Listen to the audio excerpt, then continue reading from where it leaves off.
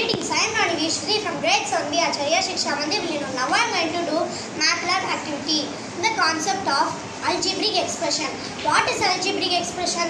The combination of variable and constants by the signs of fundamental mathematical operations is called algebraic expression. Now I am going to pick the question. The question is x square plus 2x plus 3 added by x square plus x plus 2 x square plus 2x plus 3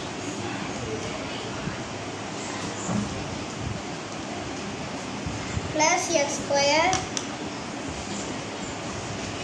plus x plus 2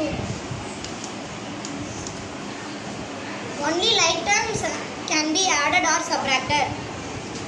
x square